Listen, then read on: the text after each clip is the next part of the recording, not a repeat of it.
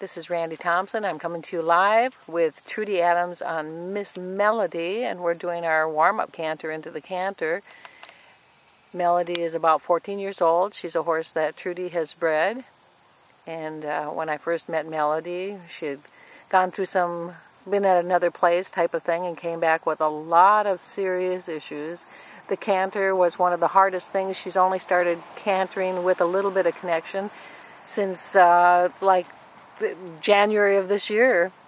It's taken us four years, you know, Trudy riding her and working with her to get her to where she's relaxed at the canter because she just bolted and ran around for the first three or two or three years. Good, good. That's it. Take your time. So you'll see the canter is relaxed, not as balanced as it could be, but that's where she is in her training. We finally got her brain relaxed and her thinking relaxed, and now we're working on getting her mentally to stay more balanced. And the way Trudy's doing that is she's suppling her on the outside rein and leg. Supple her a lot more until you feel her lift her shoulders. Yep, slow down the front end. There, praise her. That's all right if she breaks. That's all right if she breaks. Because what was good is she responded by shifting back. And her idea is she's not sure when you're shifting her back if you're asking for a downward transition and because she, she, doesn't really know how to balance yet. So think slower in the front, slower in the front, send her forward. So two steps, you're going to slow down the front end just to get her used to rebalancing, and then you're going to let her lengthen a step or so. Good. Two steps, half halt. Yep, take it's all right. There's nothing she can do wrong. That's all right. Yep. So she said that on a smaller circle she falls apart, which most horses at this level of training do. So there's nothing new about what Melody is doing. You may not have seen it before, but in the training process of going from a green horse balance with like a loose rein and just picking up whatever speed she wanted, which could be pretty pretty fast with Melody in the old days. We're asking her to at least stay slow right now. We'd like her to rebalance more at this time, but it's going to take time because First, she had to be mentally ready. You can see she's mentally ready. And now we're training her. It's like a green horse learning how to connect for going into training level. Good. Praise her a lot. Supple her. Suppling. We want her to relax her jaw. And you'll see she broke her gait. It took us two years before we could get her to keep the same canter on the same side because she had so many issues. Again, this is the work that Trudy's doing. You can see the history of everything she's been doing with Melody by going to the playlist area of this channel, Randi Thompson Live, and looking up Trudy and Melody. Good, good, good. That's all right. That was, it's nice because she's staying relaxed and she's trying to figure out what you want to do. So when you're teaching a horse something new that they don't understand, you have to remember it really is an interspecies communication. We're teaching the horse, it's an amazing thing, teaching a horse to get us to stay connected with us and do this stuff. Who knows how they ever figure it out even. But that's what the process is. We're asking for more connection and communication. Yep, keep her hind legs more active as she stays connected. And as she goes into the next level of balance, melody, where her shoulders will be up and she'll have a rocking horse kind of canter. You can see it's pretty soft now, just not in the balance that we're working towards. Good, good. Like now she'll pick up a canter as you saw from a walk. That only started this last year because before she would run into the canter from the trot, that was all she was mentally able to do. And it was typical of any green horse. So yes, even at 14, a horse can be green. Good. Take your time. Remember, if you if you ask for the downward, start a start a curve. Okay, that's all right. So she'll break a lot at first. We don't care. So at first with a horse like this that's really complicated and had a lot of issues to work through, they might only be able to do like six steps of canter and then they break. It's nothing that they're doing wrong. It's really hard for a horse to stay connected, especially a horse that had the physical and mental issues that Melody did. Well, uh, well, the physical issues we're talking about is we're not sure what happened that she, because she would pace at the canter and the walk. Rem remember when she used to do that, Trudy? So I've got a headset on right now so she can hear me talking. So in the beginning, Melody, her eyes were back, rolled back in her head, her ears were flat. She'd be going around with her mouth open, grinding her teeth, sticking her tongue out. She was pretty frantic, but you know, the, we filmed the whole process so you can see it. And this shows that any not anybody, but a rider who really wants to take the time and is dedicated to their horse can bring them to a new level because there are a lot of people that wouldn't have even taken the effort with Melody in the place that she was at that time. As I said before, she was a little bit dangerous. Good, good. Soften her jaw. Good, good, because it's hard. When you pick up the canter, you feel all of a sudden you'll feel a little bit of bracing.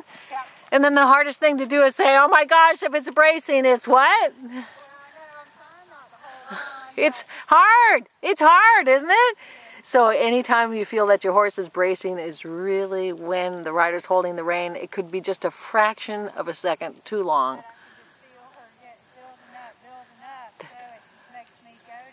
So what what Trudy's saying is she feels it building up and that leads her to that. So at least you know the pattern. So now when you feel it building up, that's when you need to change whatever you're doing. That's true.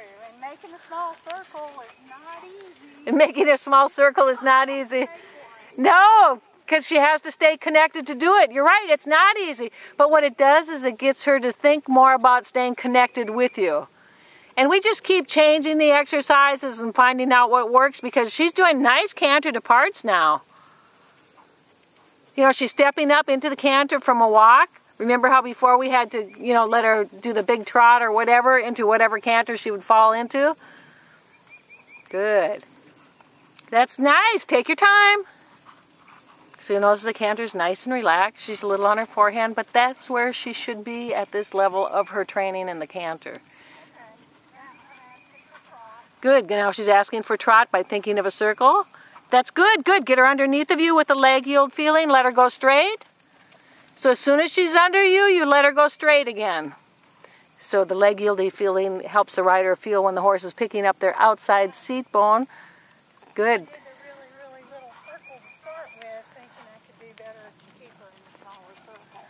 Eh, well, that's that's important because you know you're what you're doing now. She just said that she started in a small circle.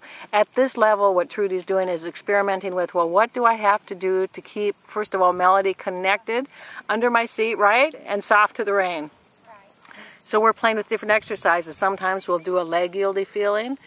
Other times it'll be starting a circle and uh, again, Trudy's goal is because she can now feel if Melody's under her outside seat bone. And it's just a feeling that a rider has when the horse is on the outside rein and leg. Good. Take your time. Shorten your outside rein until you feel her rock. Yeah. Play with the outside rein so she shifts back a little. You'll feel her behind the saddle more. Good. Praise her a lot. Soften her on the outside rein. Try a couple steps straight in here. It's all right. It doesn't matter. It doesn't matter. I know, it doesn't matter.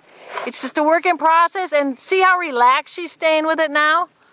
So even though she's falling in and out, you'll notice that Melody is staying relaxed with the process. You don't see her. She used remember how she used to whip her tail? She'd stick her tongue out and she would whip her tail so hard you could hear it. It was like a whip on the other side of the ring. But you'll see now Melody, after this time that Trudy's put into it, she doesn't even, you don't see her flicking her tail. Her tongue is in her mouth. We've got her in a snaffle bit. Good. What a good girl. Take your time. I like how you're taking your time and you, you, now I don't have to tell you when to start a circle because you're really aware of when she disconnects. Good. Take your time. Eyes up. Good. She needs to, you knew that, didn't you? You could feel she's walked off without softening first. So that's all right because that's where she is in her training where you're getting pickier about it. So um, when I say softening and walking off, it's the steps to connection. Before a horse changes gait, does anything, first they have to be soft in the jaw. So Trudy's checking that when she picks up the right rein, that Annie, that Melody gives her like a little mini stretch on it, which shows that she's softening to the contact.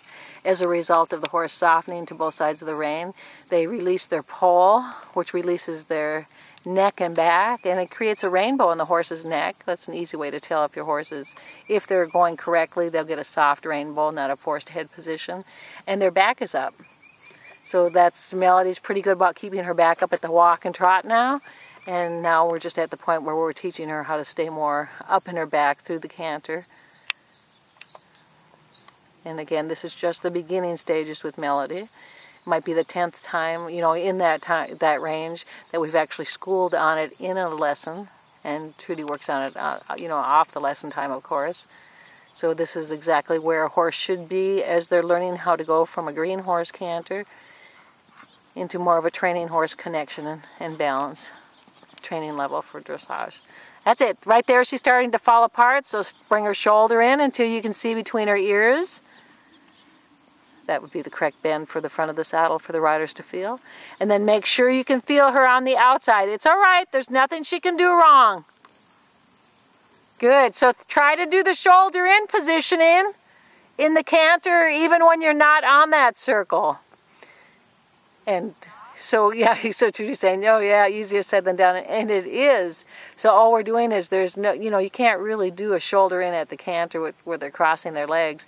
But if they can bring the shoulder over, the rider can bring the horse's shoulder over so they're on the inside hind. It makes it easier to keep a horse more connected when the horse is ready to go there. Because it takes time for a horse to understand what we want. Can't imagine how they can even process all the stuff we do with them. It's an amazing thing, isn't it? Good.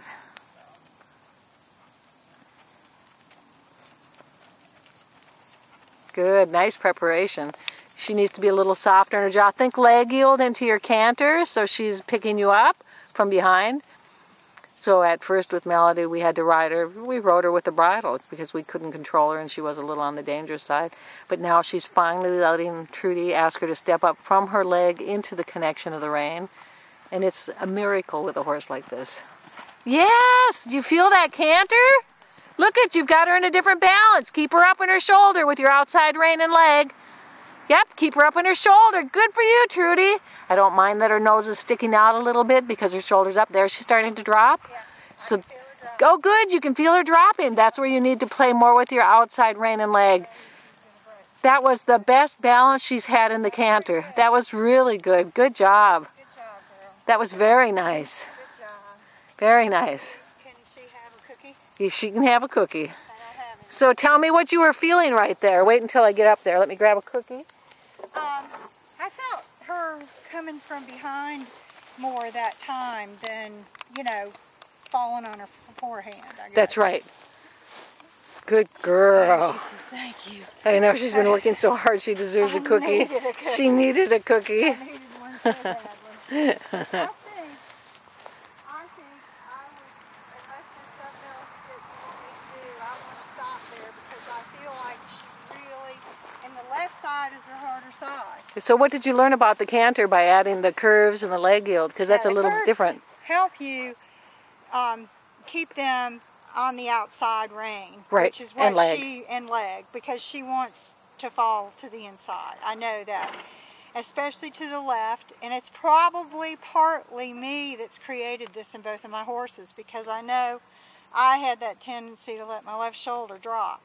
So I'm working harder too to stay up and keep my chest pointed in the direction, look between her ears, blah, blah, blah, blah. Yeah, it's else. true, it's true. And remember, Right into the m- inside, most horses do this, so it's a joint thing. It's such a big deal for a horse and rider to connect like that. So most riders are we. But I do, on their not, left. I do not feel her being, um, when she gets quick, it's more not out of like I'm being bad and That's I'm right. running away from you. It's more like I'm losing my balance. That's right. She's lost the frantic because she used to get frantic and anxious. Remember? Well, she didn't like losing her balance. That's right. You and know, now she's like, she just loses her balance and says, "Well, I guess I have to just break." that's right. You know. That's right. So, That was very nice. Thank you, Trudy. Again, you can watch more of what's been happening with Trudy and uh, Miss Melody by going to the playlist area of this YouTube channel, Randi Thompson Live. You can see their history with the video sessions we've done in the last four years. And remember to subscribe today. Bye.